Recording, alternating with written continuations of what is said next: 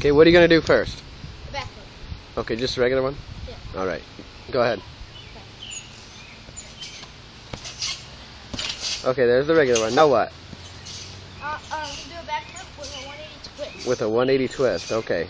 So you're going to be facing the other way when you land? yeah, but All right. Okay. You ready? Yep. Alright, here we go. That was pretty good. Try it again.